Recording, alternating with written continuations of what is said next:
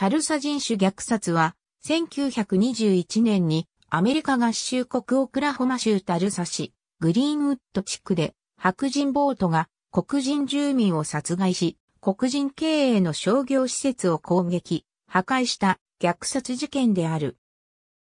特定の人種に対する暴力として、アメリカ合衆国史上最悪の事件と称されるが、事件から80年近く歴史から忘れられていた。タルサ人種暴動、グリーンウッドの虐殺、ブラックウォール街の虐殺とも呼ばれる。虐殺は1921年5月31日から6月1日までの戦没者追悼記念日の週末の後に起きた。商業ビルの1階で働く白人店員がエレベーターオペレーターとして働く17歳の白人女性の叫び声の後に靴磨きとして働く19歳の黒人ローランドが逃げるのを目撃した。白人店員は警察に電話し、確証がないまま性的な暴行事件があったと通報した。実際にエレベーターの中で何が起きたのかは未だ謎に包まれているが、ローランドは女性の腕に触れたのは認めたが、暴行容疑は否認し、女性も被害届を出さなかった。翌日、容疑をかけられたローランドが交留されていた裁判所の前には、怒る白人が2000人ほどの群衆となっていた。当時アメリカでは白人による黒人のリンチが横行していた。白人ボートはローランドを保護する裁判所に身柄の引き渡しを要求し、それに対抗して集まった50人ほどの黒人たちとの間で銃弾が交わされ、12人が死亡した。この知らせが街に広がり、白人ボートによる暴力が拡大し、その夜から翌日の朝にかけ、白人のボートたちは黒人が住む地域を破壊して回り、建物に火をつけ、黒人の経営する店から略奪した。白人ボートによる襲撃は地上のみならず、自家用飛行機からのライフルや焼夷弾を使った攻撃も行われ、住居や店舗、学校、教会、病院などが襲撃され、その多くが消失した。最終的には、グリーンウッド地区の35区画以上が破壊された。800人以上が病院に搬送され、6000人以上の黒人が家や商店から連れ出され、多くは数日間にわたって収容施設に武装した警備のもと拘束された。多くの黒人たちが無差別に殺され、一夜明けた昼頃、オクラホマ州兵が戒厳令を敷き、事態は一時収まった。グリーンウッド地区は当時アメリカで最も裕福な黒人コミュニティで、ニューヨークのウォール街と比較して、ブラックウォールストリートとも呼ばれていた。この事件でおよそ1万人の黒人住民が家を失い、被害総額は不動産で150万ドル、個人資産では75万ドルとなった。これは2019年における約3200万ドル相当、日本円にすると35億円相当となる。当時のオクラホマ州の公式統計によると36人の死者が出たと記録されたが、アメリカ赤十字社は公式推定を出すことを拒否した。2001年に州政府によって行われた再調査によると、検視報告書、死亡証明書や、その他の記録から確認された死者が39名となったが、実際には少なくとも75から100人、または100から300人の死者が出たと推定した。多くの生存者は家をなくし、その後タルサ市を去った。タルサ市に残った黒人と白人の住人たちは、この暴動と虐殺について長年沈黙し、この事件について語られることはほとんどなかった。また、タルサ市やオクラホマ州、またアメリカ合衆国の公式歴史にもほとんど記録されることはなかった。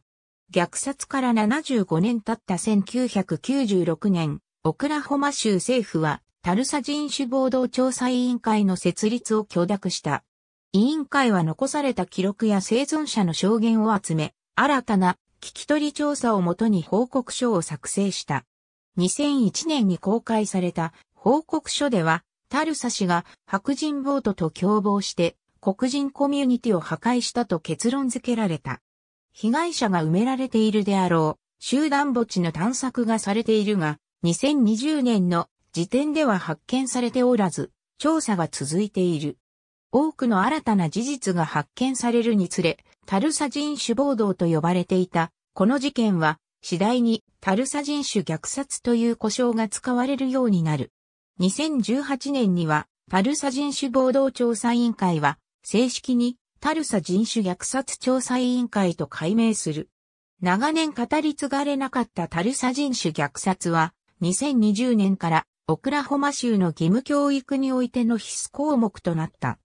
1921年、タルサ人種虐殺が起きたオクラホマ州では、社会的、政治的な不満と相まって人種間の緊張が高まっていた。現オクラホマ州は1907年にアメリカ合衆国に加盟するまでインディアン準州として割り当てられた土地であった。インディアン準州はもともと白人がアメリカ南部での木綿産業を拡大するため、南部に住んでいたアメリカ先住民を強制移住させる特別居住地区として指定された場所だった。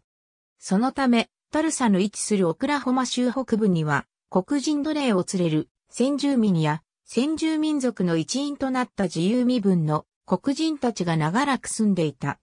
そのような黒人たちや奴隷解放宣言を受け自由身分となり、コミュニティの噂を聞きつけて移住してくる黒人たちが、共にタルサの礎を築いた。1897年に石油が発見されたことにより、地域の経済はますます発展を始め、1907年にオクラホマはアメリカ合衆国に州として加入する。加入直後、州政府は人種隔離政策を取り、列車内における白人と黒人の分離や、参政権における差別化などの事務苦労法を可決した。1916年8月、タルサ氏は条例で黒人と白人が互いの人種の人口が4分の3を占める区画に居住することを違法とした。翌年、アメリカ合衆国最高裁判所は人種隔離政策は憲法違反だと判決を下すものの、タルサを含む多くのアメリカ南部の都市は新たな人種差別的な条例や既存の条例の実施を続けた。1920年のタルサ市の地図。裕福な黒人地域であったグリーンウッドは、タルサの北部に位置した。それでもタルサには、多くの裕福で、高学歴の黒人たちが多く住むことで知られていた。特に、タルサの黒人地域である、グリーンウッド地区は、ニューヨークのウォール街と比べて、ブラックウォール街と称されるほどの経済的繁栄を見せた。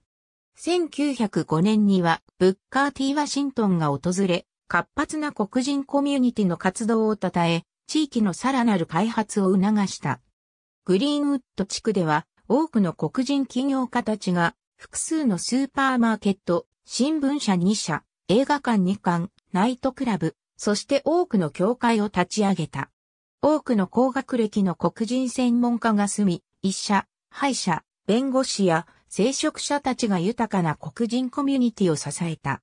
グリーンウッドに住む住人たちは自分たちでリーダーを選び、資本を捻出することで、白人社会から独立した経済的な発展を支えていた。しかし、このような独立した黒人社会に対する反感が少なからず白人の間では起きていた。オクラホマは1865年に終戦した南北戦争ではアメリカ連合国とアメリカ合衆国の境に位置し、奴隷制の廃止をかけた戦争の記憶はまだ遠くない過去の問題として残っていた。1923年に行われたリレーでの第2の KKK メンバー。1920年、テキサス州にて、リンチの犠牲者を前に記念撮影をする白人たち。タルサ人種虐殺の3年前の1918年には、第一次世界大戦が終戦を迎え、多くの軍人たちが除隊となり新たな職を探していた。オクラホマ州北部の石油景気は少しずつ後退しつつあり、職を求める白人失業者を十分に受け入れることはできなかった。また、第一次世界大戦で合衆国兵として従軍した黒人退役軍人たちは白人と同等の市民権を求めて声を上げ始めていた。就職競争が厳しくなる中、白人による反黒人意識はアメリカ全土で加熱しており、クークラックスクランによって先導される白人至上主義が再燃しつつあった。米国において KKK はテロリスト集団として摘発の対象であったが、1915年頃から第二次 KKK がアメリカ全土の都市部で秘密裏に支部を設立し、活動していた。オクラホマ州で KKK の活動が明るみに出たのは、タルサ人種虐殺直後の1921年8月12日であった。1921年の終わりには、タルサ市には約3200人の KKK メンバーが住んでいたと推定される。また、人種差別的な法律が改められ、法的に黒人を迫害しにくくなるにつれ、黒人を威圧し、白人の権力を維持するために、黒人に対してリンチが頻繁に行われていた。特に20世紀初頭に多く、1907年の州設立宣言からタルサ人種虐殺までの13年間で確認されているだけで31人が死刑により殺され、そのうち黒人が26人を占めた。また、ほとんどが男性であった。タルサ人種虐殺の後の20年間は確認された、リンチは2件に減少した。このような複数の社会的背景が、タルサ人種虐殺につながる要因とされている。タルサ人種虐殺と同時期に起こったエレイン人種虐殺や赤い夏として知られる白人による人種虐殺のように黒人に対する虐殺事件が同時期にアメリカ合衆国中西部や北東部でも起きていた。1921年5月30日の午後4時頃、タルサのメインストリートで雇われていた靴磨きの19歳の黒人青年、ディック・ローランドは、近くの建物の最上階にある黒人専用トイレを使うためにエレベーターに乗った。エレベーターには、オペレーターとして働く17歳の白人女性、サラ・ページが乗っていた。近辺に他の黒人用トイレはなく、ローランドがトイレを使うには、ページの働くエレベーターに乗るほかなったため、ローランドとページは少なくとも顔見知りであったと思われる。実際にエレベーターの中で何が起こったのかはわからないが、ページが大きな声を出し、ローランドは急いで建物を去った。建物の1階にある服屋で働く白人店員は女性の叫び声のような声を聞き、その後に急いで建物を出る若い黒人男性を見た。後に、店員はエレベーターに行くと、ページの木が動転しているように見えたと語った。店員は警察に通報し、女性が黒人男性に襲われたと伝えた。2001年に公開されたオクラホマ州の再調査報告書では、ローランドはつまずいて、ページの腕に捕まった可能性が高いとした。もしくは、口喧嘩になっていた可能性も示唆した。ディック・ローランドとサラ・ページが知り合いであったか、もしくはどれほどの関係性であったかは、長年の推論の的であった。ローランドはトイレに行くために頻繁に、ページの働くエレベーターを使っていたことから、少なくともお互いが顔見知りであったというのは、筋の通った説である。他に、二人は恋人だったのではないかと推測する人もいる。それは人種間の結婚が禁じられていた当時とても危険な死を意味する可能性もあるタブーであったが、ありえなくはなかった。二人が知り合いであったかどうかは定かではないが、1921年5月30日の月曜日にディック・ローランドとサラ・ページが共にダウンタウンにいたことは確かである。しかしこれも謎に包まれている。その日は戦没者追悼記念日で、タルサのほとんどの店舗や会社は営業していなかったのだ。それなのに、ローランドとページは二人とも働いていたとされる。警察による調査警察はページに聞き取りをしたと思われるが、現在に至るまでその調書は発見されていない。一般的に認められた説では、二人の若者の間に起こったことは性的暴行ではないと警察は結論付けたと思われる。またページは警察に被害届は出さない旨を伝えた。警察は、ローランドの捜索を大掛かりには行わず、比較的小規模な捜査を始めた。事態の深刻さに気づき、ローランドはグリーンウッド地区に住む母の家へ逃げた。エレベーターで暴行が行われたかどうかに関わらず、ローランドには警察から逃げる理由があった。当時、黒人男性にとって、そのような疑惑は、事実に関係なく白人たちのリンチにより殺されるのに、十分な理由であった。容疑者逮捕タルサの人種虐殺の先導となった新聞記事のうちの一つ。見出しはエレベーターの少女を襲ったニグロを逮捕と題されている。翌朝、ローランドは二人の警察官にグリーンウッドで逮捕される。はじめはタルサ市拘置所に交留されたが、警察署長宛にローランドに対する殺害予告が匿名で届く。それを受けてローランドは裁判所の上階にあるより厳重な拘置施設への移動が命じられた。裁判所で働く弁護士や法専門家の多くは、ローランドのことを靴磨きとして知っていたという。複数の弁護士が、ローランドのことを擁護し合う会話を聞いたという証言もある。ある弁護士は、なぜだ私は、あの男の子のことを割と長いこと知っている。そんなことをできるような子ではないと語ったという。新聞報道による先導タルサの地元紙のうちの白人が経営する一つが31日の午後にローランドの逮捕を報じた。複数の証言によると、その勇敢に含まれていた社説が今夜ニグロをリンチとの見出しでローランドをリンチすることを示唆していたという。この新聞は当時から過大な表現をすることで知られていた。事件を報じた当時の新聞はすべて処分され、現存するものは存在しない。また現存するマイクロフィルムも関連したページが何者かによって破壊されており、真相は不確かである。1997年のタルサ人種暴動調査委員会は、社説を記載した現存する新聞に報奨金を出したが、結局見つかることはなかった。他の新聞社がこの社説について述べた記述も発見されなかった。社説の中の論説、また、そもそもそのような社説が存在するのか自体、賛否両論ある。裁判所前での退治午後3時頃に発刊された新聞報道は、直ちにローランドのリンチの噂を街に広めた。午後4時には警察や政府に注意が喚起された。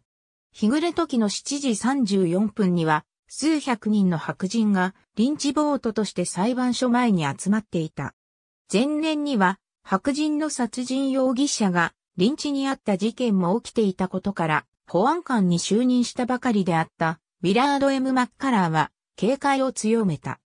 マッカラー保安官はライフルとショットガンを持った6人の部下を裁判所の屋上に配備し、ローランドの交流される上階へと続く裁判所のエレベーターを停止させた。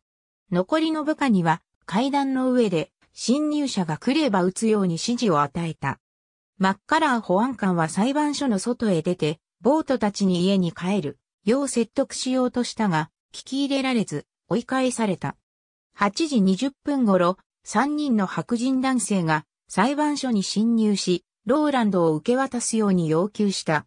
外の群衆はすでに警備を大幅に上回っていたが、保安官は侵入者を追い返した。裁判所から数区画離れたグリーンウッド通りにあるガーリーズホテルでは、黒人コミュニティのメンバーたちが集まり、事態の対策を相談していた。前年、同様に殺人容疑者のリンチ事件が起きたことから、ローランドの身にも危険が及んでいると思われた。ローランドのリンチを阻むことには多くが同意したものの、その戦略では意見が割れた。第一次世界大戦から帰国した若い退役軍人は銃や銃弾を集め戦う準備をしたが、より年上で裕福な男たちは武力による衝突は黒人コミュニティにとって甚大なる被害を生むと考え反対した。このホテルのオーナーでもあった O.W. ガーリーは後に大陪審の前で宣誓した上で若者を説得しようとした時のことを語った。それによるとガーリーはローランドのリンチは起こらないと主張し若者を止めようとした。しかし若者たちはマッカラー保安官が直接彼らに助けが必要だと伝えたと言った。午後9時30分、50から60人の黒人たちがライフルやショットガンを持ち、ローランドを保護するマッカラー保安官のいる裁判所に向かった。弁護士、ジェームズ・ルーサーが後に大陪審に提出した資料で、黒人たちはマッカラー保安官の直接の指示をもとに行動していたということを10人の独立した証人と共に証言した。マッカラー保安官は黒人たちに指示を出した事実を否定した。私は車に乗っている銃を持った黒人たちを見た。マッカラー保安官に、あの黒人たちは問題を起こすよ、と伝えた。マッカラー保安官は彼らと話をしに行った。彼らは車から出て縦一列に並んだ。WG ダグズが殺されたのはボルダー通りと6番通りの近くだった。彼のように権力を持つ人なら黒人たちを止めて武装を解除するものだと思っていた。私は警察署長が裁判所の南側の階段の上で話しているのを見た。署長の他に警察官は見なかった。私は歩いて裁判所に入り、マッカラー保安官と彼のドアから15フィートほどのところであった。彼に、この黒人たちは問題を起こすよと伝えたら彼は家に帰るように指示したと言った。彼は外に出て白人たちに家に帰るように伝えた。すると白人たちは、あいつらは、あなたがここに呼んだと言っていると言った。マッカラー保安官は、私は、呼んでいないと言うと、黒人たちはそう言ったじゃないか、と言った。弁護士、ジェームズ・ルーサーの証言白人群衆の武装グリーンウッド通りでは、黒人たちの間で、ローランドの安全を心配する声が高まっていた。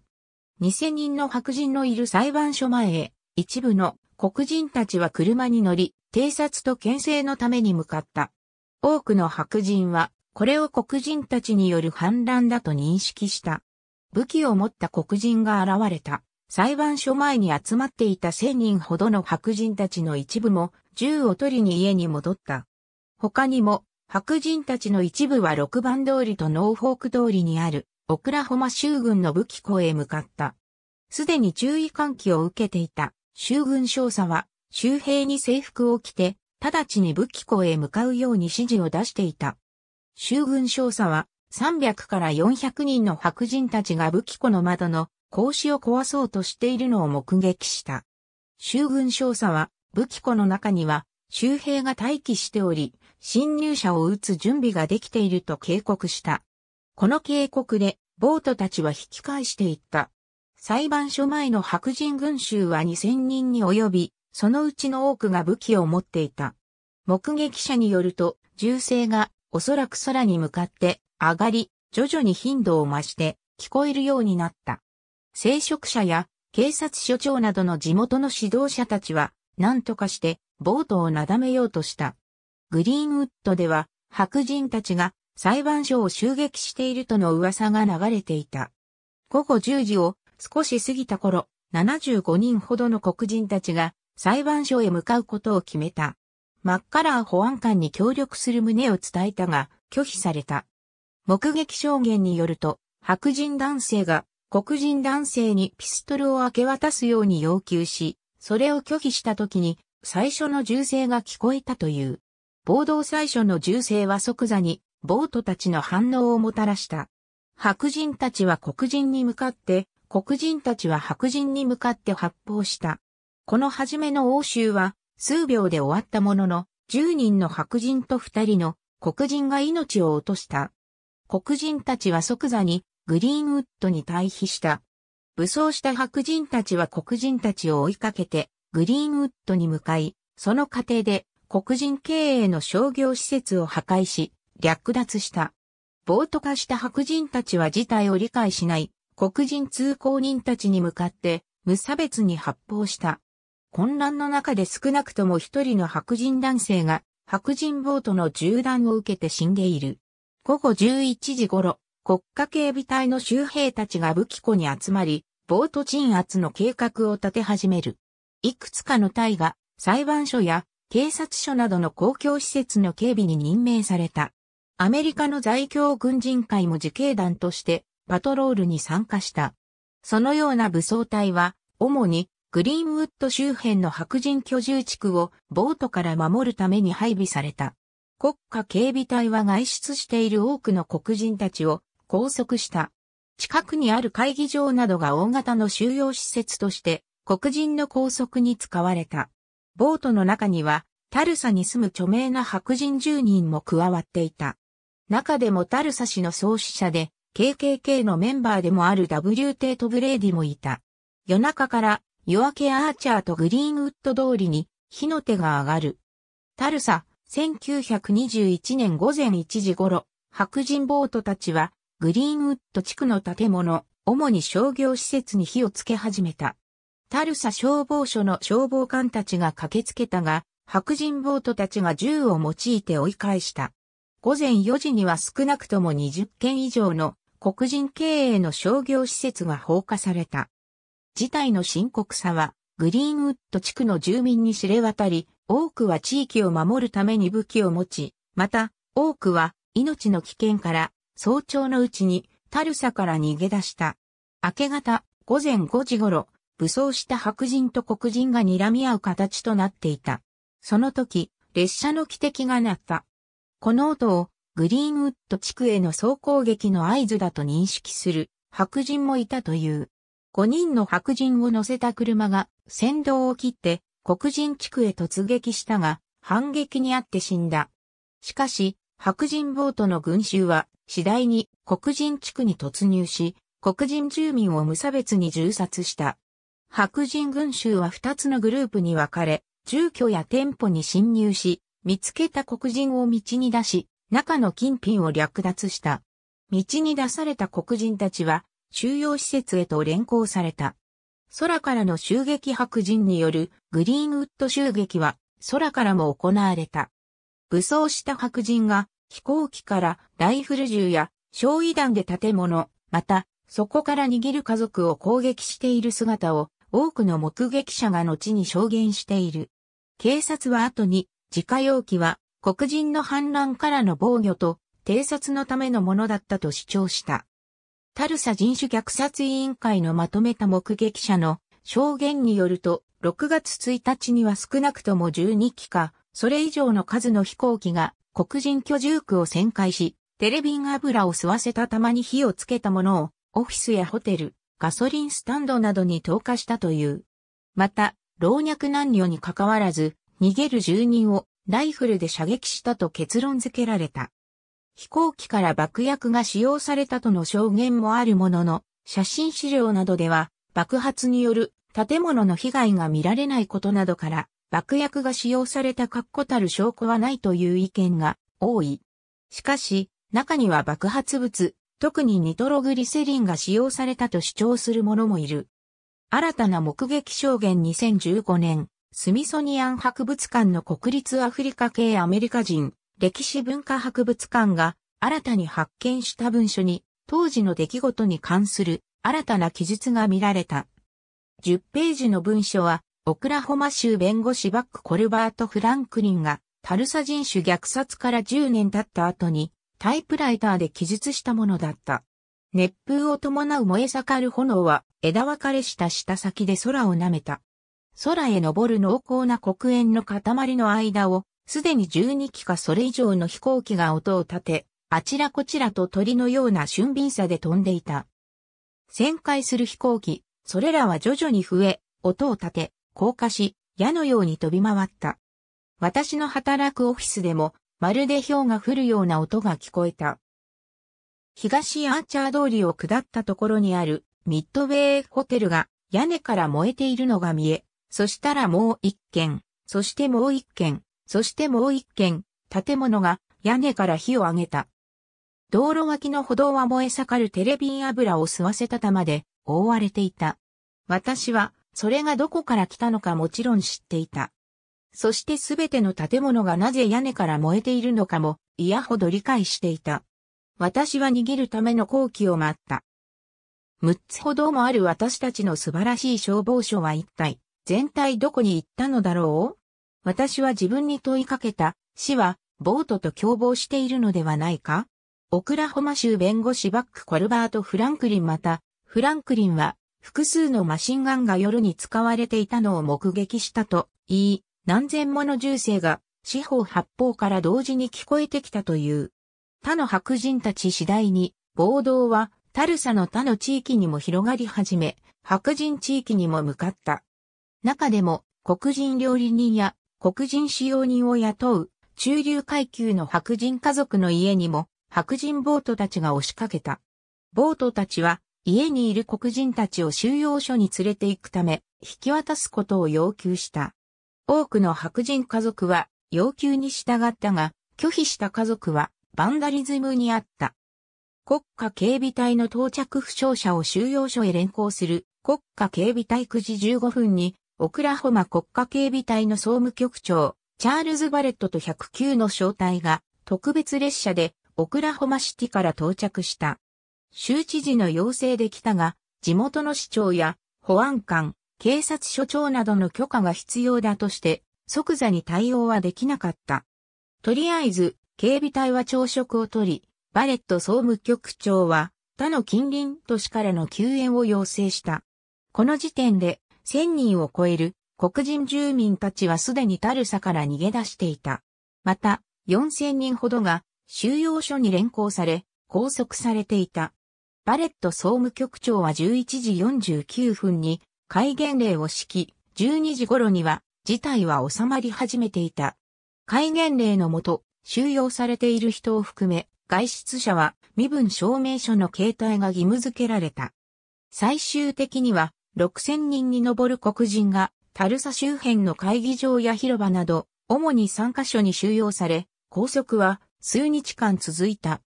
1921年に国家警備隊員によって書かれた手紙には、暴動収束活動の内容として次のようなことが書かれていた。戒厳令は1921年6月4日に解除された。燃えるリトールアフリカ。タルサ人種暴動。1921年6月1日、ホテルタルサの屋上から撮られたと言われる写真。暴動は全国の新聞に報じられ、死者の数は報道機関によって大きく違っていた。死者を33人とする報道から176人とする報道もあった。また、警察署長が知事に75人の死者と報告したという報道や175人と報告したという報道も出た。2001年にタルサ人種虐殺調査委員会は39人の死者の記録が確認され、13人が白人で26人が黒人であったと報じた。記録されてない死者が多いとした上で、75から100人、または100から300人の死者がいたであろうと報告した。なお、13人の白人死者は全員病院に搬送されていたが、黒人は記録された26人のうち、搬送されたのは8人だった。全米黒人地位向上協会のウォルター・フランシス・ホワイトは、直後にニューヨークからタルサへ向かい、約50人の白人死者と150人の黒人死者が出たと推定した。また、ホワイトによると、タルサの旧西軍の少佐が37人の黒人が120人の遺体を埋める墓を掘るために雇われたと言ったという。これにより、タルサのどこかに集団墓地が存在すると言われ、地中レーダー探査が行われている。ブッカーティ・ワシントン高校の南東から撮られた暴動直後のパノラマ写真。写真の中央を横切る写真がグリーンウッド通りである。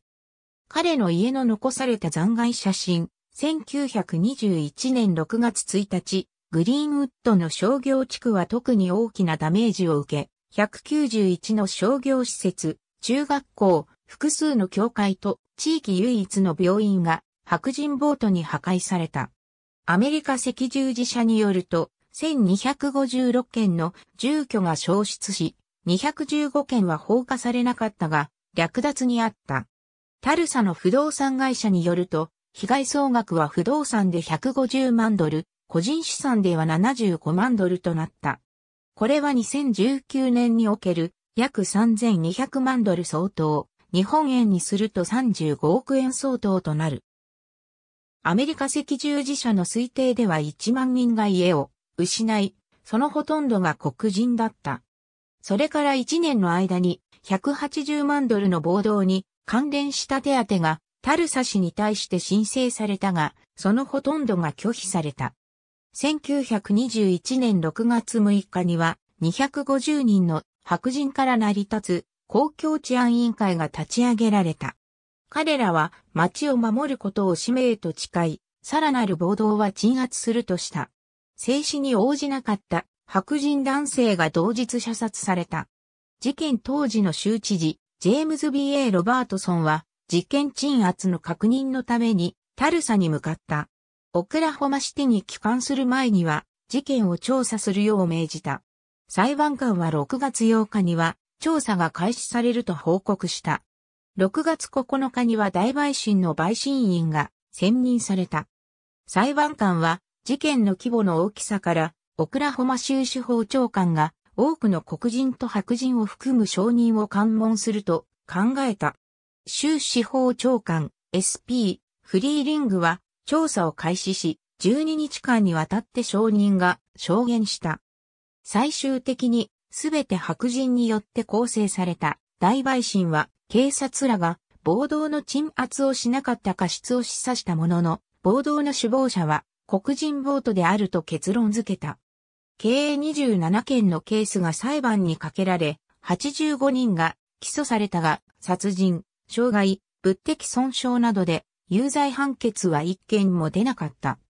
警察汚職の疑惑2016年に、タルサ市警察署長、チャック・ジョーダンは1921年の警察の行いについて、あの時、警察はやるべき仕事をしなかったんだ。正しなかったと語った。1922年にタルサに住む黒人市民であるパリッシュは当時オクラホマ州が無法地帯であったことを要因の一つとして挙げ、もし政治と犯罪に共通の利益が存在していなかったら、この奮撃の事態のきっかけとなった小さな火花はすぐに消されていたと語った。オクラホマ州の著名な歴史学者であり、弁護士でもあるクラークは、博士論文で、当時のオクラホマの無法さが第二次クークラックスクランの台頭を招いたとした。ジョン・エイ・グスタフソン事件後、当時の警察署長ジョン・エイ・グスタフソンの汚職の疑いが調査がされた。公式な調査は1921年6月6日に開始され、後に複数の罪状で起訴された。そこには、禁酒法、売春防止法、住所時法などの違反の黙認、盗難車の販売業への加担、車泥棒の逃走の黙認、盗難車の使用や転売、タルサ氏に捜査費用を請求するための架空探偵業者の運営、そしてタルサの暴動の鎮圧をせずに傍観していたことなどが含まれた。オクラホマ州司法長官は複数の手紙で警察官が司法と共謀し、汚職事件に関わる大陪審の承認を脅迫したという告発を受けた。複数の手紙で、州司法長官が大陪審の際に同席することを求めた。州司法長官のアシスタントは、対応するには予算が限られているので、タルサの市民はより良い警察官や所長を選任すべきだと返信を出した。グスタフソンは、タルサ警察署で働く以前から長期にわたり汚職や詐欺に関わってたと結論付けられた。グスタフソンが働いていた探偵社のパートナーも脅迫の容疑で有罪判決を受けた。グスタフソンの架空探偵社は高額な請求書をタルサ市警察に要求していた。調査では探偵社から多くの脅迫状が市民に向けて送られていた。その非常さを特筆する事例として11歳の少女が父親に何度も性的虐待、強姦に遭い、結果妊娠した事件の調査後、起訴する代わりに脅迫状を送りつけ、もみ消した。タルサの人種虐殺で行われた暴力や破壊について、有罪判決は一件も出なかった。その後、数十年にわたり、人々はこの事件について沈黙をした。この事件は、地方、州、国の歴史から省かれ、歴史本や授業で教えられることはほとんどなかった。また、個人の間でも語られることはほとんどなく、20世紀半ばに育った人は、白人も黒人も含めて事件のことを知る人はほとんどいなかった。黒人経営の地元神、タルサトリビューン氏の15年前の京都、25年前の今日のコーナーでも人種虐殺は紹介されなかった。2017年にタルサ消防署が発行した1897年からの消防署の歴史にも1921年の火事は記載されなかった。中には事件を記録しようと文書や写真を集め、死者や負傷者の名前を記録しようとする人もいた。メリー・イー・ジョーンズ・パリッシュはニューヨーク州出身の若い教師でジャーナリストだった。彼女自身もタルサの人種虐殺の生存者であり、暴動についての記事を書くよう依頼され、証言や写真を集め、被害の一部を記録した。翌年発行された本はこの事件を記した。最初の本だった。タルサ人種虐殺を初めて記した。学術文献は1946年に発表された。第二次世界大戦隊役軍人、ローレン・エルギルによる。修士論文であったが、タルサ大学外には公開されなかった。1971年、少数の生存者が集まり、追悼式をマウントザイオンバプテスト教会で行った。1971年、タルサ商工会は暴動の追悼を行うことを決定したが、暴動の詳細を記した記述や証言、写真を調査した結果、これら資料の発表を拒否した。商工会に調査を頼まれた歴史ラジオパーソナリティのエド・ウィーラーは文書や写真をタルサの地元紙2社に持ち込んだが、いずれも報道することを拒否した。彼が集めた証拠は最終的に黒人読者向けの新しい雑誌、インパクトマガジンで発表されたが、タルサに住む白人たちの多くは事件について知らないままだった。1970年度前半、グリーンウッドにある高校の歴史教師、モジラ・フランクリンが初めてタルサにおけるアフリカ系アメリカ人の歴史の展示を行った。また、彼女とヘンリー・ウィットローは、タルサ歴史ソサイティを初めて黒人と白人が共に所属できるようにし、記録されていた虐殺についての資料を一般公開した。虐殺の歴史を調べる中で、ジョーンズはルース・アベリーという白人と協力し、彼女もまた事件の記録を発表しようと試みていた。二人の女性の活動は沈黙を守るべきだとする多くの白人から批判された。1996年、虐殺から75年の節目が近づき、タルサ人種虐殺を歴史的な知見から検証するための委員会が州の許可のもと立ち上げられた。この委員会の設立は民主党、共和党双方から喜んで受け入れられた。当初はタルサ人種暴動調査委員会という名称だったが、2018年には正式にタルサ人種虐殺調査委員会と改名された。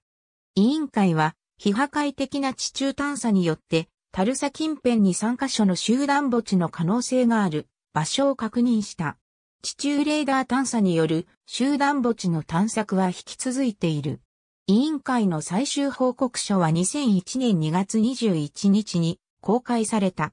その中で黒人住民に対しての賠償を進め、重要度の高いものから以下を挙げた。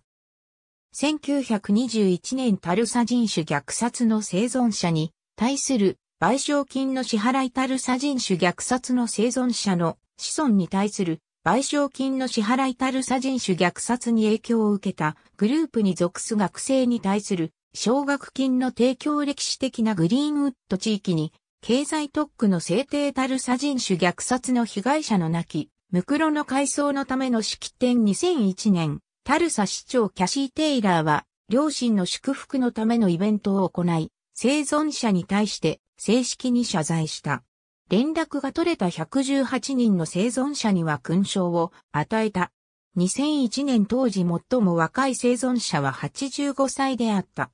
2001年6月、オクラホマ州議会は1921年タルサ人種暴動融和法を可決し、州知事フランク・キーティングが署名した。この法により虐殺が起きた事実は公式に認められたが、被害者や被害者の子孫に十分な賠償を行うには至らなかった。州議会はタルサ人種虐殺調査委員会の提言に反対し、法案に賠償金を支払うことは含まれなかった。具体的な対応として以下の3つが含まれた。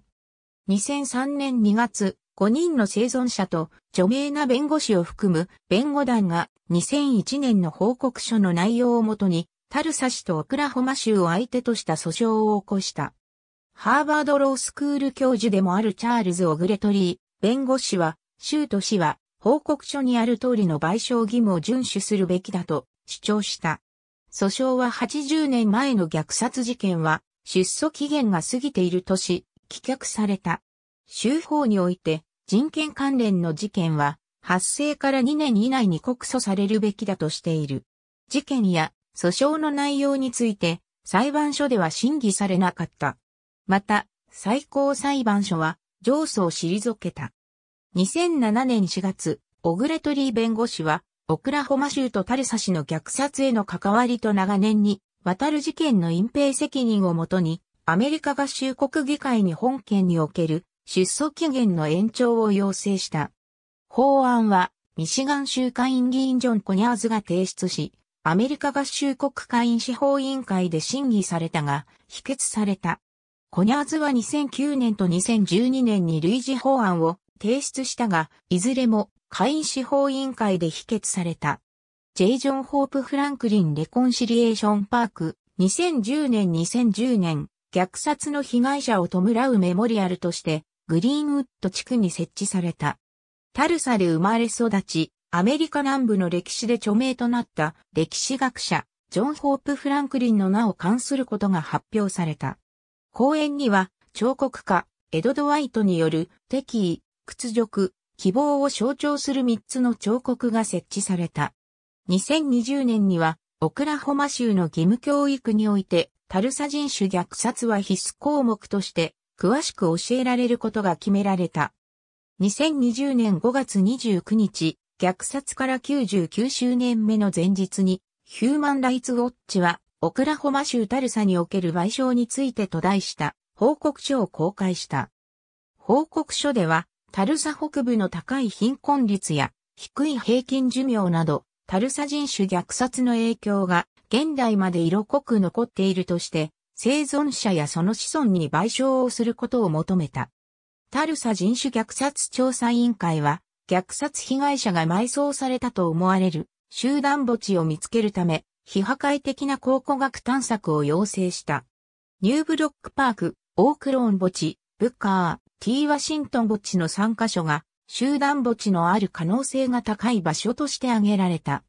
証言などをもとにすると、はじめの2カ所では、白人が黒人被害者を埋め、ブッカー T ワシントン墓地では、黒人が黒人被害者を埋めた可能性が高いとした。また、ブッカー T ワシントン墓地は、黒人専用墓地で、最も距離が離れていることから、そこに埋められた人は、虐殺が収束した後に負傷から死亡した人ではないかと予測された。1997年と1998年に集団墓地の地下探索が行われた。疑惑の地帯全体を探索はできなかったものの、初期的な調査では集団墓地の痕跡は見られなかった。1999年にはオークローン墓地で白人が黒人を埋めているのを見たとの目撃証言が見つかり、地下探索レーダーと地質コアサンプリングを用いて調査が行われた。